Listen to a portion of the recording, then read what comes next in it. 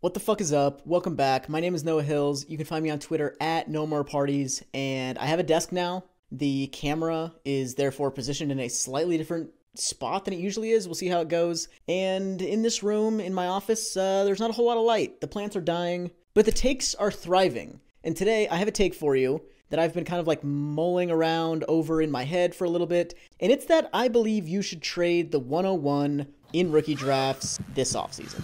Let's get into it.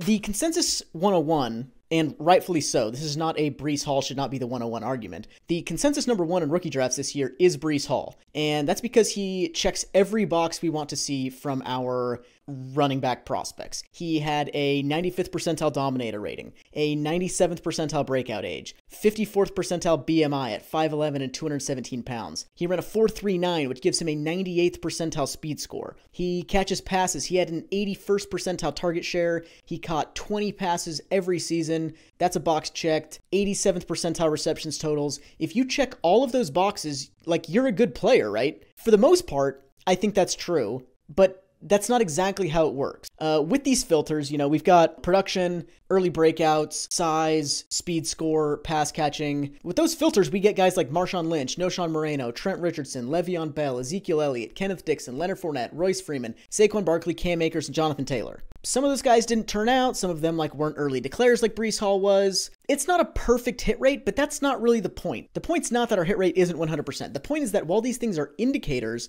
that guys will be good players, they don't actually say much at all about how good a player is on the field. I fired off a tweet yesterday which when this video comes out will have been like four days ago. But it asked people like, what is it specifically that like Breece Hall does better than Royce Freeman did as a prospect? And a lot of the answers were like he declared early and he had a higher dominator rating and he had a higher target share and his speed score was higher and he had a higher burst score. Those are all things that indicate that Breece Hall might be a better player than Royce Freeman. And to be clear, I think Breece Hall is a better player than Royce Freeman. I think he's a better prospect than Royce Freeman was also. But the point is that those things are not, they don't say anything about what Breece Hall is as a player running fast and posting a high dominator rating and having a high target share are not tangible skills. They are the results of skills. And so very little like understanding among like at least consumers of you know dynasty content or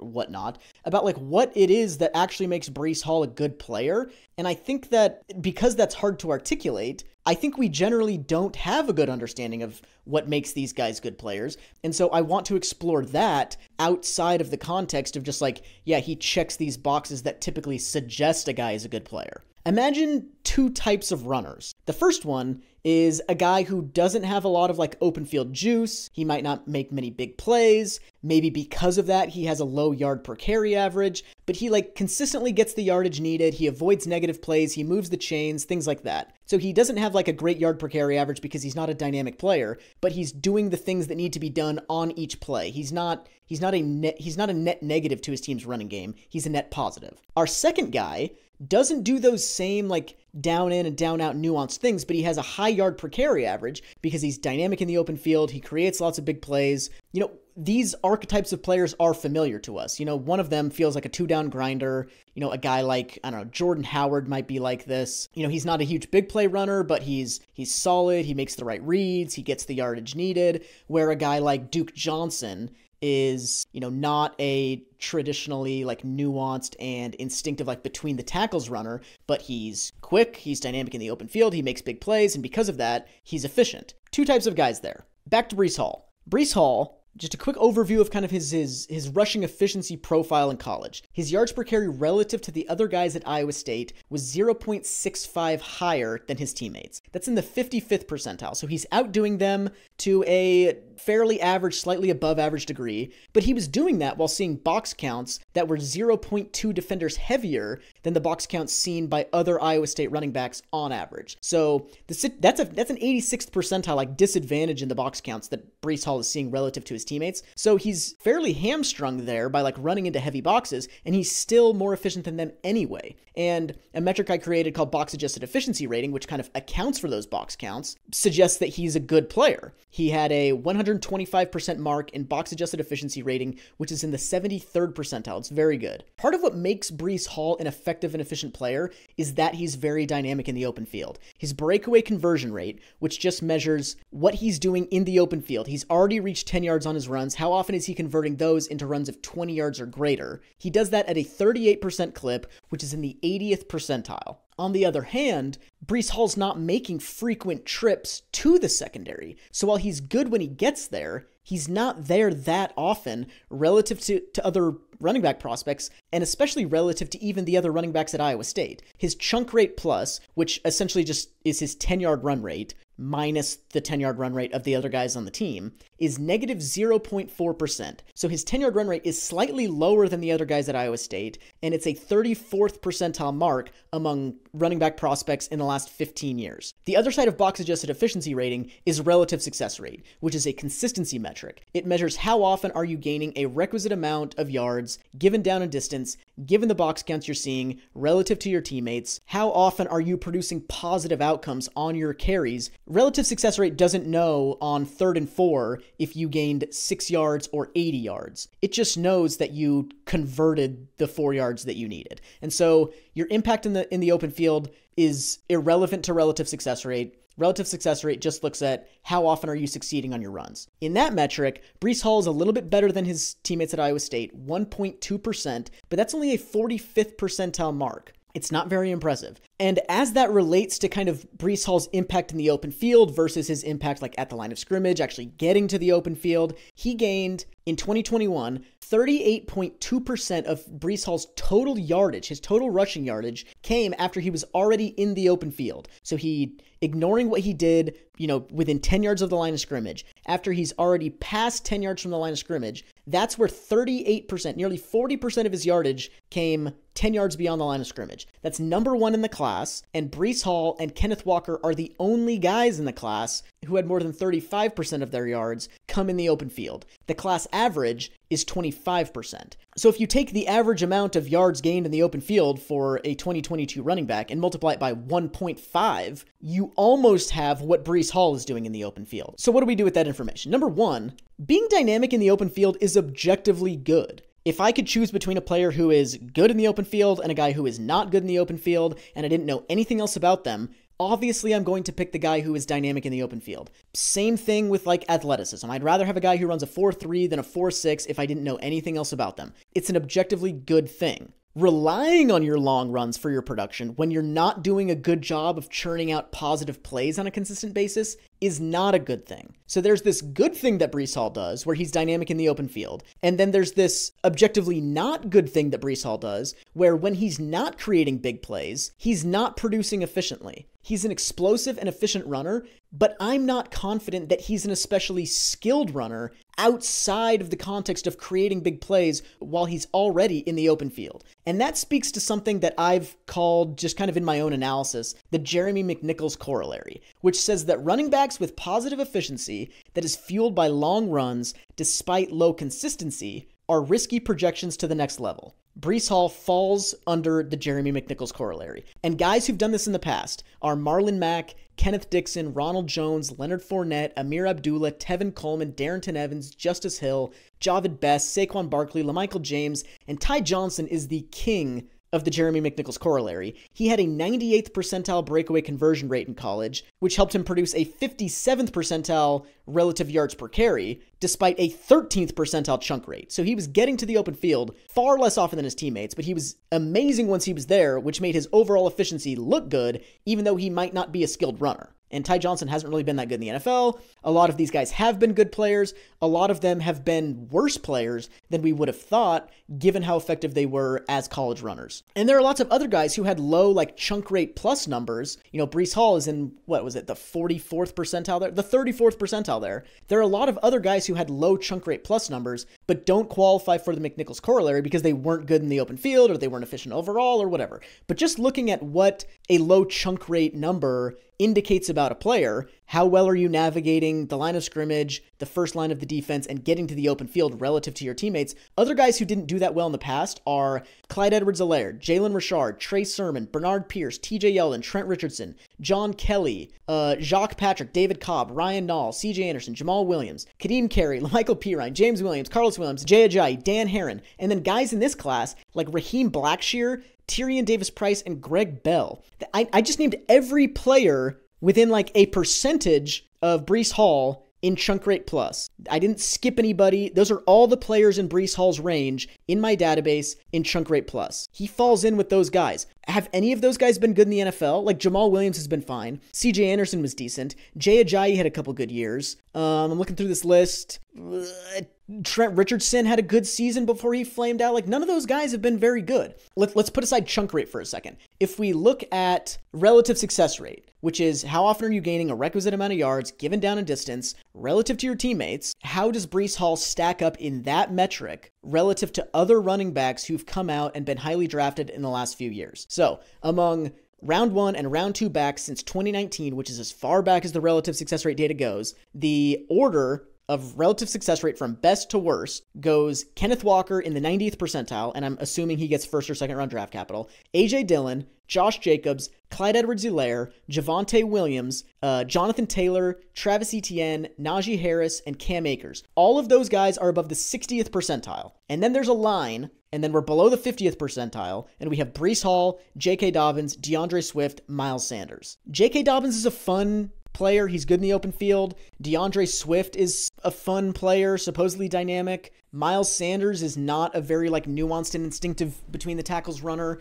I would much prefer that group, even with, you know, Clyde Edwards Helaire, I would much prefer that first group that's good at relative success rate or looks good there versus that group that doesn't look good there. Like I think this is a it's a pretty strong indicator that some of these guys just aren't nuanced, not instinctive runners at the line of scrimmage at the point of attack despite being dynamic athletes who can create in the open field. So that's my point about Breece Hall as a runner. There's also this element to his profile. You know, he gets this reputation as like a three down back. You know, he had like 87 receptions in college, passing game weapon, and he did. He had a 67th percentile target share, 87th percentile receptions totals. But those things indicate that a player was used in the passing game. They don't necessarily indicate that a player is a quality receiver, especially from like an NFL point of view. He was split out wide in the passing game less than 5% of the time, which is in the 25th percentile. He was targeted negative 0.6 yards on average, which is an ADOT in the 30th percentile. So he's not being moved around the formation. He's not being asked to run like advanced routes